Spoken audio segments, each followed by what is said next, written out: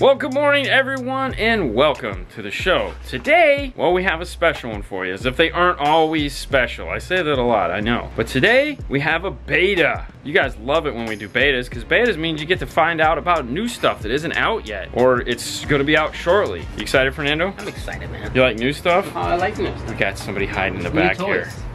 Yeah, it's Kyle. What's up? Kyle's from PAC. That means AAMP Global. You know what? Let's roll the beginning and we'll talk on the other side. Kyle was nice enough to drop us off a beta product for this Dodge Ram. For this, we want to put a new radio in it, and they have a new kit that's coming out. Let me show you what we're going to be replacing. You have this big 8-inch touchscreen, but unfortunately, it doesn't have all the cool features that everybody wants, like CarPlay or Android Auto, and they really want that as a feature. They also have all the air conditionings incorporated into this, and it's, it's just one big piece, and it's not like we can just pull this out, but we can, and we have this product here. The new RPK4 CH4101 2013 to 2019 Ram truck with 8.4 inch display. The plan today is to give you guys an idea of how this is going to work, talk to you about future plans that they have for the kit, and what you're going to get if you get one of the first ones and all that fun stuff. But let's get it over here on the bench, open it up, and take a look and see what comes inside. Now normally what you'd see in this is a bunch of cables and stuff like that. I have them sitting over on the bench. Let me bring them over here. So first thing you'd find in the box is the RP4.2 CH4101. This is the main brain. This is where all the harnesses are going to plug in. This is where you're going to find your controller for the steering wheel controls, and of course a reset button, and the USB for programming if you need to do any updates. The main harness that plugs into the car, and here are some of those plugs we were talking about. The main harness that is going to connect to your aftermarket radio. Here's where you'll find all your speaker wires, which we'll talk about in a minute. This is the connector that's going to go from the brain box to the new dash piece. Has a 10 pin plug on each end. And then the camera input for the control center. We'll talk about that a little bit more. Also in the kit, you get this. This is the chime speaker. This allows you to actually have a real chime. It's a speaker and it's going to sound sexy instead of just a yeah. Now the last piece that comes in the box is going to be your antenna adapter. It's a BAA22, standard antenna guy like this. Plastics. We have the double DIN trim bezel with side brackets. Ooh, which snap into place like that. And then for those of you that want to put a single din in the car for whatever reason, they have a pocket. And then there's two little foam pouches. These are going to be for the dash kit for the air conditioning. Set these someplace safe. They're white, so they're going to get lost. We're going to put these someplace safe right now, like my pocket. We have a bag of screws.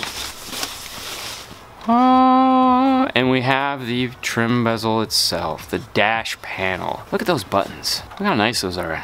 Ooh, they feel good too. It's got rubber on it. Very nice. So as you can see here, we have the air conditioning controls built into the radio. We're gonna need to retain those somewhere. We have the seat controls for the heated seats. We have all the vehicle settings that are inside the radio here. And all this stuff has to be retained in the kit. Now, because this is a beta, we have a first run instruction manual, meaning it's it's not finished yet. Mean, at least gets us started, and we can give them pointers on things we learned today as far as what they'll need. Inside the owner's manual, though, it's going to give you an overview of all the things it's capable of doing. It's going to give you a parts list, like we showed you on the bench, but then we can move on to actual radio disassembly. There are two different center console radio options available for this truck. It is going to be the same dash kit, but in the instructions they break out the difference. So there's trucks with center console and then trucks without center console. So make sure you choose which one is yours and follow the instructions. For us, we have a center console. The first thing we want to do is remove this rubber mat down here and then there's a rubber mat right here as well. We have a Torx here and a Phillips here. Now the Torx in this little pocket is in there pretty deep. The size Torx bit you're going to need is a T20. Now don't put it away, you probably need it for later, but we can take the extension off.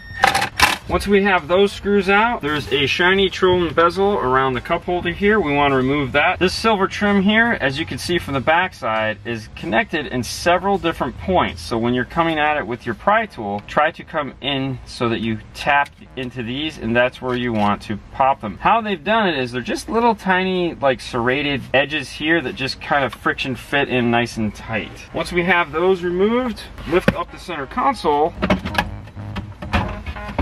pry up the center console. As you can see, they have three metal clips here, three metal clips here, and then one in the very back located here. Take your pry tool and just gently work around the sides, it'll pop right out pop that out. And then there's two more T20s located at the top here. Once all those screws have been removed, we can pop the main bezel off. So ours has about seven clips behind the radio. Undo all those. Remove the screen, there is four seven millimeter screws. Pull the screen forward. Remove the factory USB and all the antenna adapters as well. Once you're done with that, unclip the main wiring harness. It's gonna unclip from the side where the factory USB was. That's why you have to remove that first to get to the clip.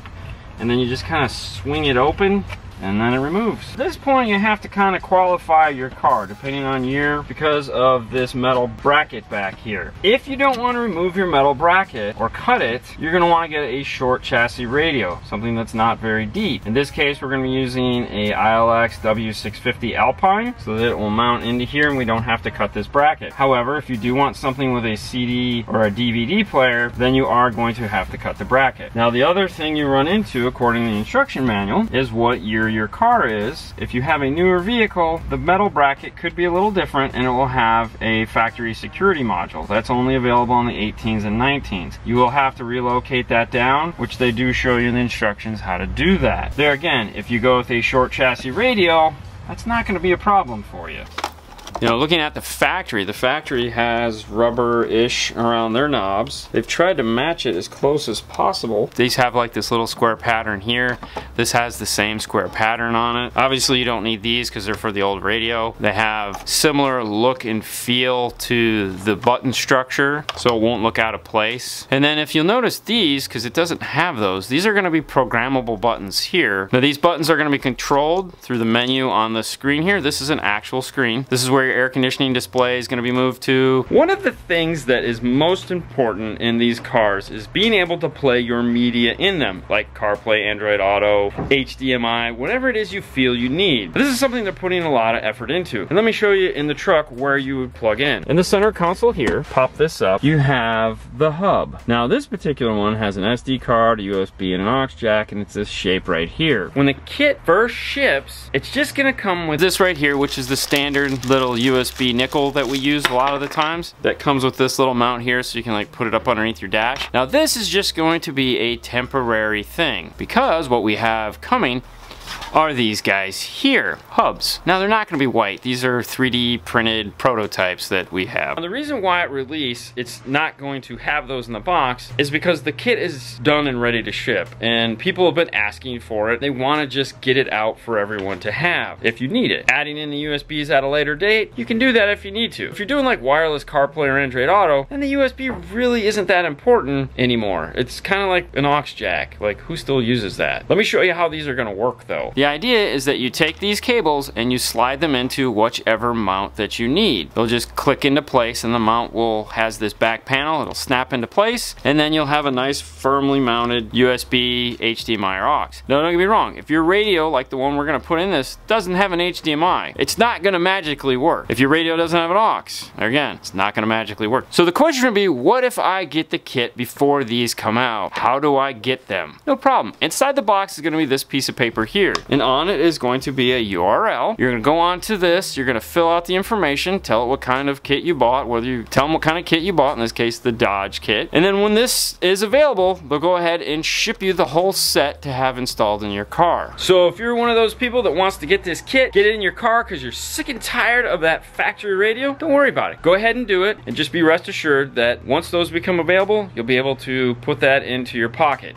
Now that we have the radio out of the dash, we have all the parts explained. Let's move on to disassembling the factory dash bezel and getting our new dash kit in. So going through our owner's manual here, step one is of course get the dash out of the car. Step two is to flip it over and remove all the screws. Step three is to gently lift it out of the dash bezel. And then step four is to safely secure all the screws that you're gonna use because you're gonna retain those and use them on the kit you're putting in. The screws are Phillips, and for that I will be using a screwdriver. It will take a little longer but with just using a regular screwdriver, you don't break any of the plastic. When all the screws are out, flip it back over. Hold this while you're flipping it over. The radio lifts up from the bottom here, and there's an L that goes around here that you have to unhinge. That may take you a second. This is that L I was talking about right here, and of course there's a couple little extra clips on here, because why not? More clips, that's what we need. Once this is removed, one thing you want to do is look right here on this. This is going to be important. Remember those two bags I put in my pocket? That's what those are for. As you can see here, there's nothing in there right now. It's just this empty hole. We're going to take the button that says auto, and that's going to go into that spot there. Now this has that same hinge on the back of it.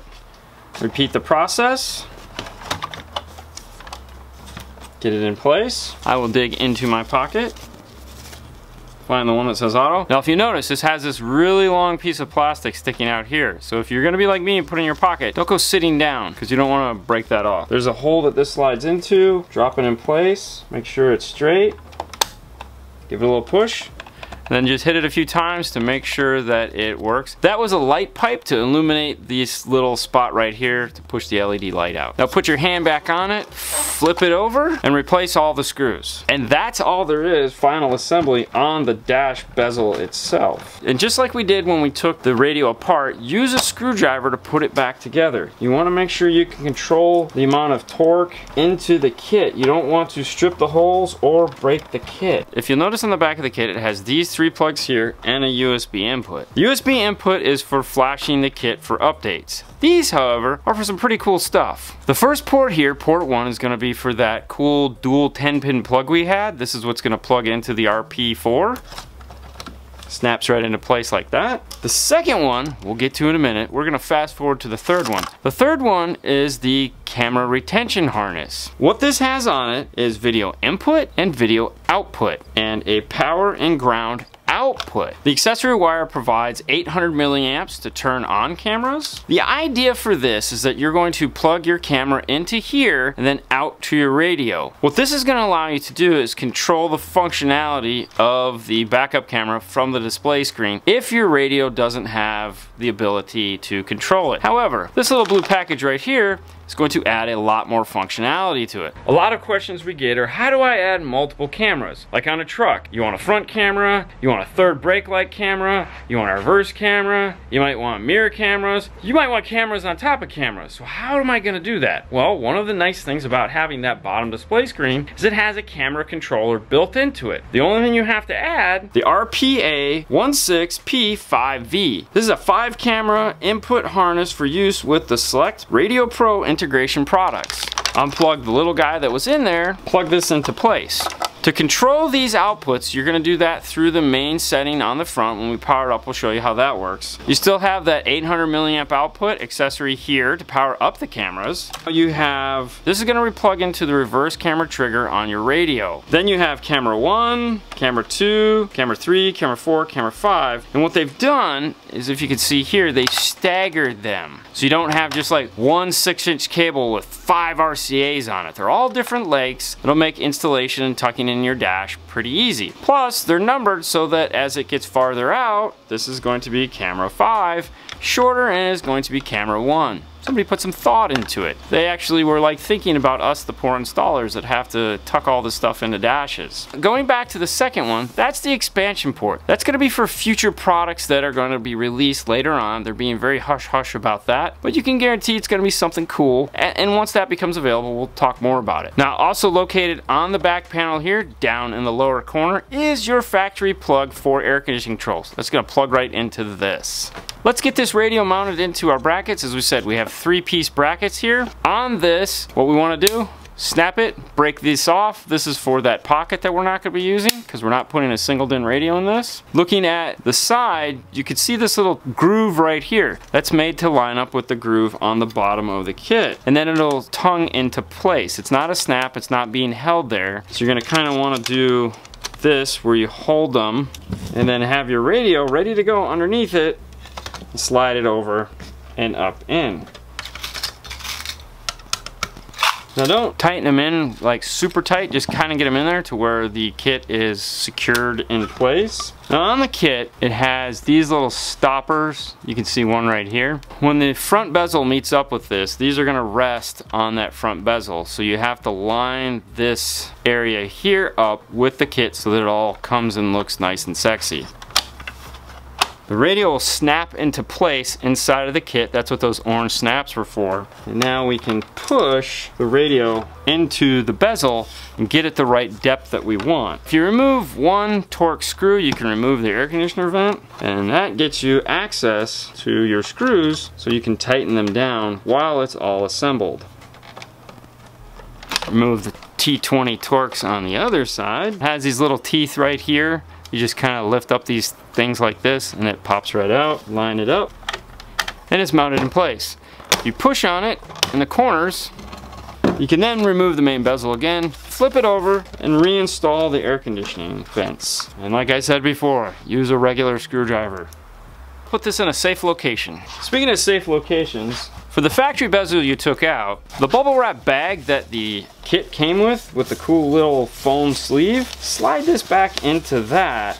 That way you'll keep it from getting scratched and keep it nice and safe if you ever need to put this back in. The kit knocked out of the way, we want to move on to the wiring harness. The wiring harness is going to be pretty straightforward. It has all the same colors that we're used to. Let's dig into it. There's two parts to this harness. There's the part that plugs into the car, and then there's the side that connects to the radio. Looking at the side that plugs into the radio, right away you'll notice it has the eighth inch, which is going to be used for Alpine, Pioneer, Sony, or anything else that takes a standard eighth inch steering wheel control. You'll find the blue-yellow wire, which is going to be used for your Kenwood or JVC, and then you have a brown wire here. This brown wire is going to be for those odd but sometimes used like white box radios. With this installation, we're using an Alpine. We're going to cap both of these off. Moving on to the harness, we'll select out our speaker wires. There's going to be eight speaker wires, a pair of whites, which is the driver's front, a pair of gray, which is passenger front, a pair of greens, which is driver's rear, and a pair of purples, which is passenger rear. There's going to be a solid and one with a black stripe. The solid is going to be positive, the stripe will be negative. There's a blue and a blue with a white stripe. The blue is going to be to turn on the amplified antenna. That's right, an amplified antenna. Because your cars now have these little short antennas, they need a booster built into them. This wire needs to see a 12 volts when the car turns on or when the radio turns on. What I like to do if the aftermarket radio doesn't supply a turn on for this is to connect it with my red wire.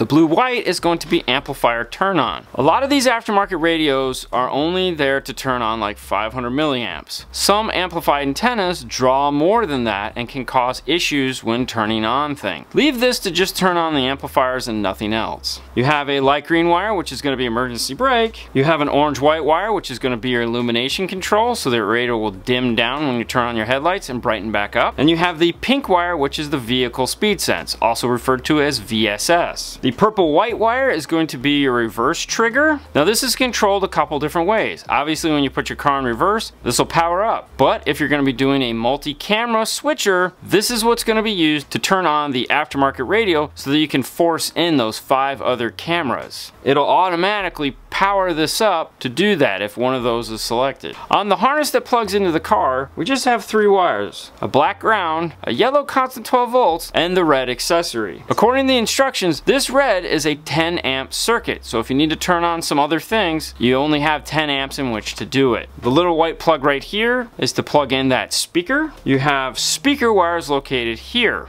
This is where this gets kind of fun. On the back of the RP module, you'll notice where it says non-amplified, amplified. That is referring to the car, not what you're doing. If you have a car with an amplified system, you're going to plug it into the amplified. If you have a car with a non-amplified system, meaning it's just radio out to those speakers, you're gonna plug it into non-amplified. What if you're adding amplifiers? If it has the outboard amplifier, you're gonna get the wires there. If you have the non-amplified system, you need to hook up your speaker wires here. What that means is that you're going to remove these speaker wires here. You're gonna have to cut these here. You're gonna connect those amplified output to this. Don't use these wires. You don't wanna pass all that current through this module. That's a bad idea. For us, we have a non-amplified system and we're gonna be using deck power. That is going to plug into the non-amplified input. Our main vehicle harness will plug into the middle and our power for the RP will plug in here. The last plug located here is the expansion port. What that's gonna be used for is that 10 pin harness that goes off to the dash bezel. This will plug into here and then this end plugs into the dash bezel like we showed earlier. Located on the opposite side is where our out to radio harness is going to plug in. And then you'll notice down here there is a couple dip switches. In the instruction manual they give you this chart right here. In this case we're using an Alpine. We want to flick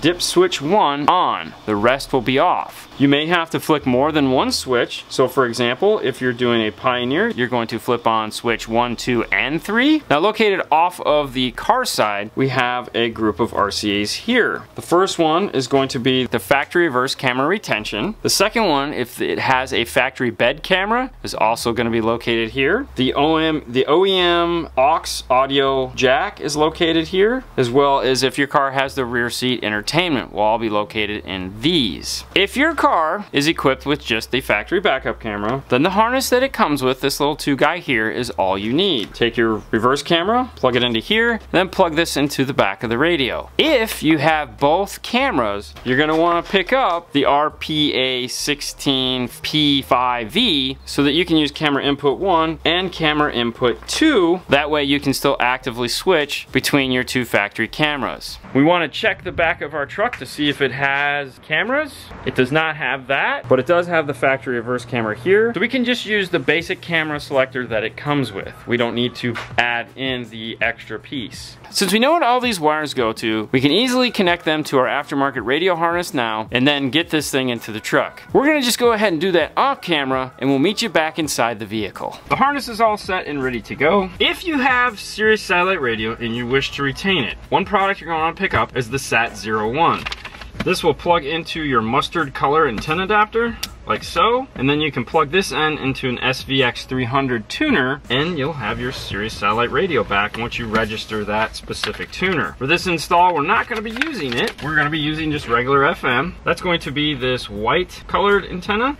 The maroon colored antenna adapter, it will plug in, but that is not going to be used for this install. You can tuck both of those down into the dash, along with the factory USB hub. For USB right now, we're just gonna be using our nickel. We're just going to drape it out of the bottom here for him to plug into until we get our hub in. The ones that we have are just prototypes, obviously. They're not ready for rocking and rolling. When you go to plug in the main harness, make sure that the little lever is all the way up. Check your pin configuration to make sure you're putting it in the right direction direction. On this particular harness, there's big pins on one end and skinny pins on the other. Match that up to the bottom here, and as you're pushing it in, work the arm down until you hear a click. Give it a tugging to make sure you got it right. For the chime speaker, we mounted it into the driver's footwell. Plug that in. Make sure all your other harnesses are plugged in. At this point, you're getting a red blinky light and a green solid light. Don't worry about that yet. Set your unit into the dash pulling the wiring harness back out of the way as you do it. Keep in mind, the control panel wire needs to be forward, as well as the camera wire needs to be forward. These two harnesses here. Plug in your FM antenna, USB, backup camera, Bluetooth microphone, pull off the cap for the steering wheel control adapter, and plug that in. The main wiring harness, and if you had the Sirius XM, you'd plug that in now also. Lift the radio into place, there again, make sure you have the front control screen as well as the camera harness out like we have here, and then replace your four screws. Grab your front fascia. Start with plugging in the long cables to short cables. So as you're plugging things in and you're moving things forward, always start with your longest cables out. That way you have the most amount of room to work with as you go. Check to make sure everything is nice and tight.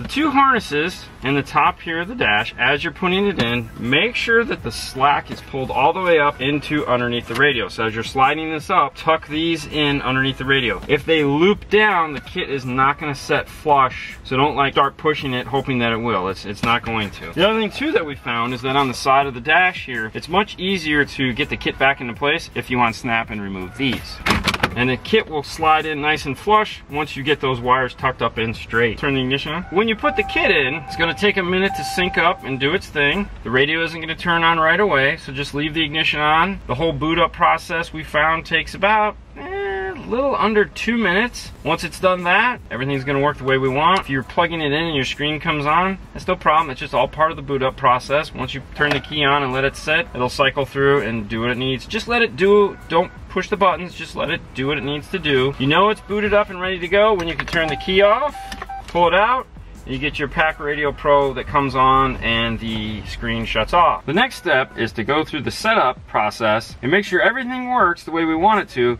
before we do the final assembly of the dash. Turn the car back on. We're gonna go into the instruction manual and go to the setup and testing page of the instructions. This thing does a lot of neat stuff, like gauges and tire pressure and your air conditioning controls, and of course, like we said, selecting those cameras we want to use. Before we get to this, let's test the radio and make sure it does everything we want it to do via the steering wheel controls. All right, so on this side of the steering wheel controls, we have volume up and down, we have band or source. On the Alpine, it's gonna go through each band as a source. Cycle back around to your FM. We have preset up and down or track up and down depending on what type of radio you have. Plug in a phone and test the microphone and the phone buttons on the steering wheel control. What's the weather like today? Expect partly cloudy skies. Hey baby, phone buttons are working. We can peel off the protective film. Verify that all your screens are functioning by scrolling through. The first one up is your air conditioning controls. Then your camera selection. Right now, since we only have the reverse camera, it's just displaying that. This is our information for our car, such as tire pressure, what gear we're in, and battery voltage. Our gauge cluster, that's right, you can have gauges up at the same time while the radio is doing what it needs to do. And this is your vehicle gauge information screen where you can get best quarter mile, last quarter mile, you know, if you're that guy.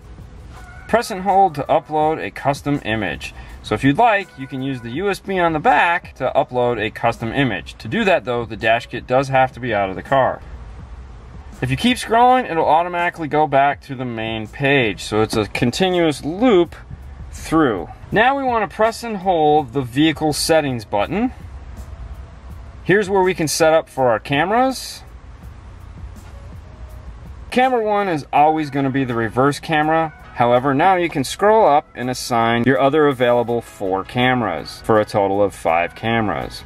When you're done, select your back button. To have some fun, we'll assign our cameras. We'll call it a front camera. Now we come up with how do we want that image to be displayed on the screen. And you'll notice while we're doing it, that it's actually changed over the screen so we can make sure we've selected the right camera. This is where shutting off the cones on the Alpine or any other radio you have would be a good idea because it's going to use the reverse camera trigger to activate the display screen. Now how do we want to activate our front camera? Auto turn on into drive drive. That means every time we put the car into drive, it's going to activate the front camera. We'll select on. Next is going to be steering wheel angle mode. This has to do with the angle of the steering wheel activating drive. If we select drive on, we can also further that down so it doesn't always come on when we put it in drive. It would have to do if the steering wheel is, let's say, straight.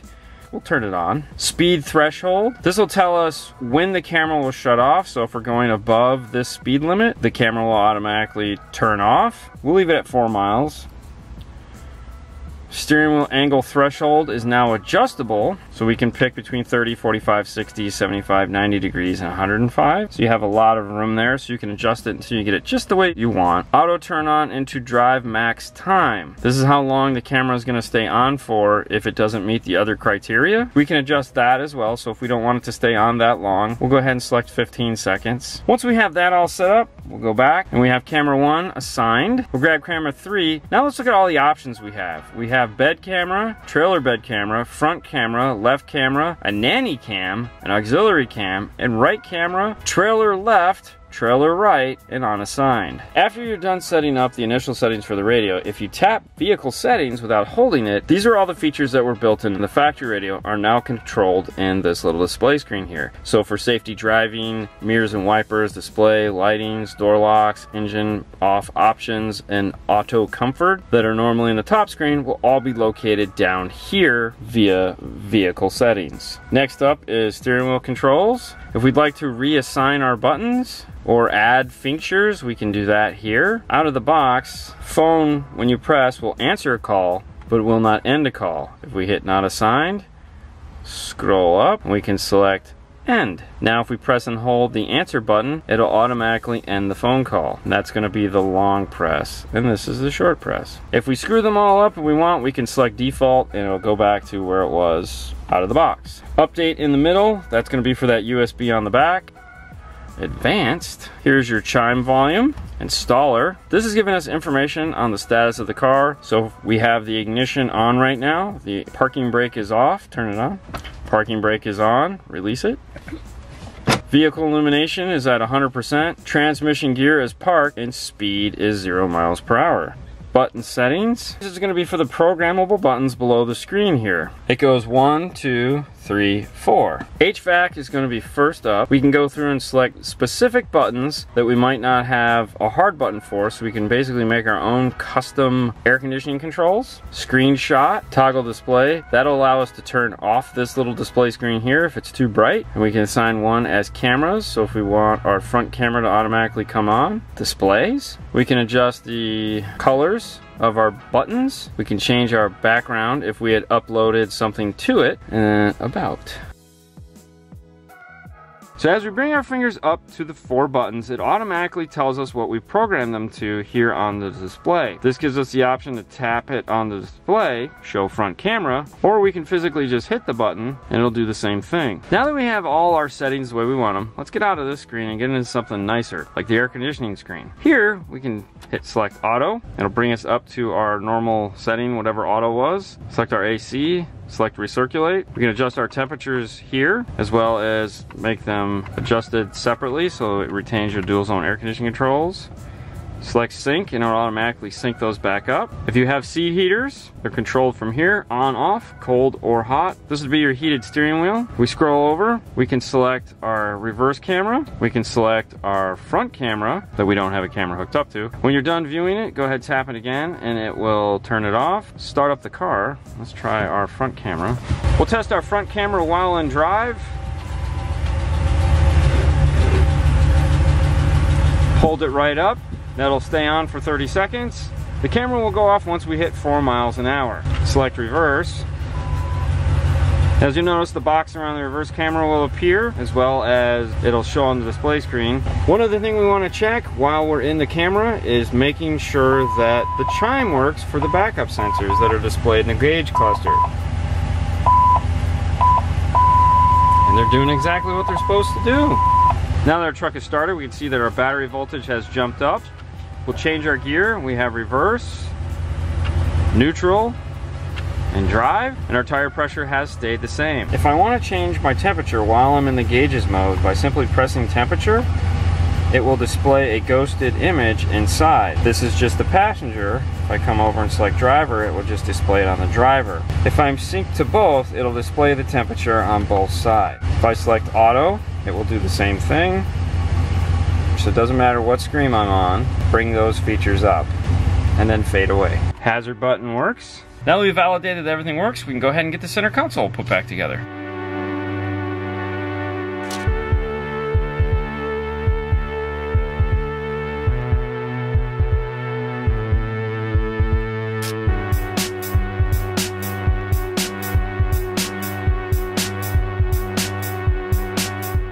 We hope you guys enjoyed this first look at PAC Audio's new kit for the Dodge Ram. RPK4CH 4101. This was a beta kit, so there are still a couple bugs to work out, but this is definitely going to be neat. If you get one of these, make sure you do the registration to get the hub. That's about it. It's a pretty sweet kit. Fit and finish, phenomenal. Good job, guys. Fernando, On to the next one, guys. you guys have a great night as always. We'll see you later next time. Bye.